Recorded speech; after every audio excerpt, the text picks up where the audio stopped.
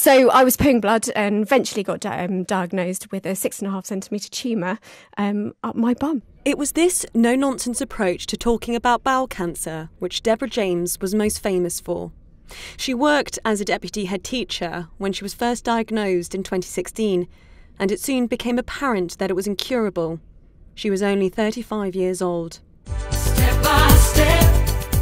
Despite the grim prognosis, Deborah James was quickly praised for talking openly about her bowel cancer and began a career in broadcasting.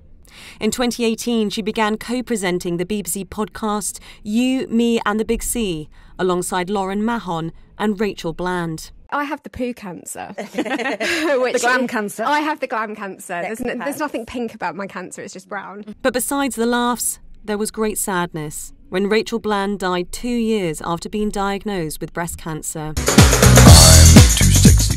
Deborah James campaigned tirelessly to raise awareness about bowel cancer, encouraging frank conversations of the symptoms.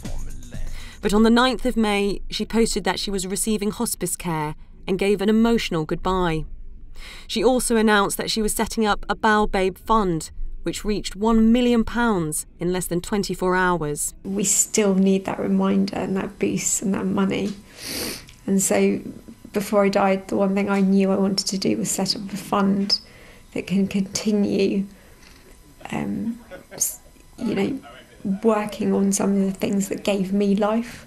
I just cannot thank people enough for their generosity because it kind of, it just, it just means so much to me. Later that week, she received a damehood from Prince William in her family home in recognition of her campaigning.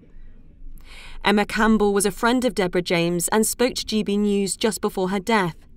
She said Deborah James would leave behind a wonderful legacy for her family. She is an pure example of a life well lived.